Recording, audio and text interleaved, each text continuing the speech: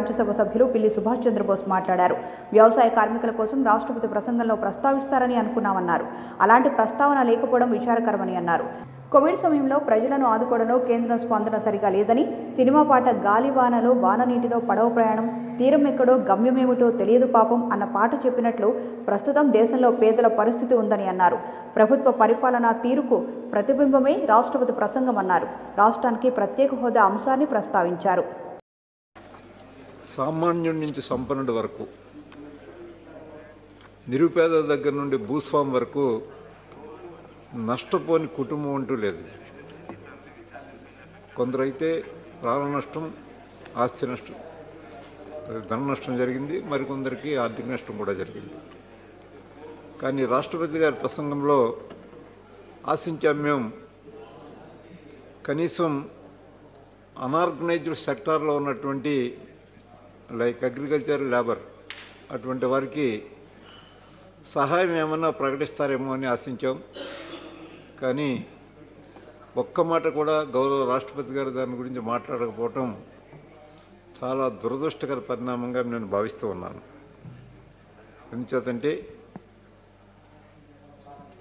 ఈ దేశంలో ఉన్నటువంటి ప్రజలు ముఖ్యంగా దాదాపుగా యాభై కోట్ల మంది ఉంటారు అధ్యక్ష ఈ అనాథరైడ్ సెక్టార్లో. కూలీగా ఉండి ఉన్నట్టు పనిచేస్తున్నటువంటి వాళ్ళు. వారి తిండి లేక పనులు లేక ఇంటిని విడిచిపెట్టి బయటికి వెళ్ళలేక అనేక ఇబ్బందులు పడుతూ దేవనావస్థలో దీనస్థితిలో ఉన్న వారిని ఆయా రాష్ట్ర ప్రభుత్వాలు శక్తి మేరకు ఆదుకున్నాయి. ఇక్కడ మనం అటు రాష్ట్ర ప్రభుత్వాలకు కానీ ఇటు ఆయా సెక్టార్లో ఉన్నటువంటి అగ్రికల్చర్ లేబర్ లాంటి వారికి కానీ ఏ విధమైన సహాయం.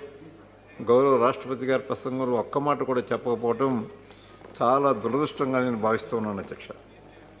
సార్ తెలుగు సినిమా పాట ఉంటుంది అధ్యక్ష? ఈ మధ్యన ఏ పరిస్థితిలో ఉన్నారంటే ప్రజలు?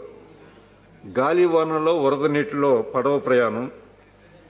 తీరం ఒక్కటే గమ్యమేం తీరం ఎక్కడో గమ్యమేమిటో తెలియదు పాపం. తెలుగు సినిమా పాట ఉంది అధ్యక్ష? అదే పరిస్థితిలో ఉంది అధ్యక్ష. ఈవేళ పేద ప్రజలందరూ ఈ దేశంలో ఈ కోవిడ్ నైన్టీన్ కారణంగా వారి యొక్క జీవన స్థితిగతులు ఏ విధంగా నడుస్తూ ఉన్నాయి అనేది మరి అటువంటి పరిస్థితుల్లో ఉన్నప్పుడు ఆదుకోవలసినటువంటి బాధ్యత.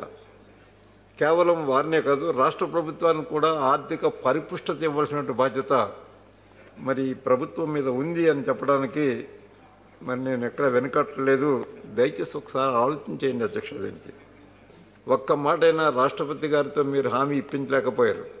రాష్ట్రపతి ప్రసంగం అంటే అధ్యక్ష తమకు తెలియదు కాదు.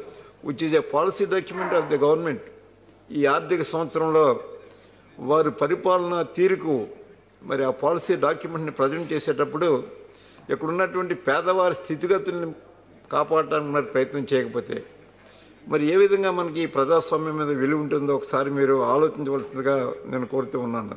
అధ్యక్ష నేను కోరుతూ ఉన్నాను. ఆంధ్రప్రదేశ్ ప్రజలు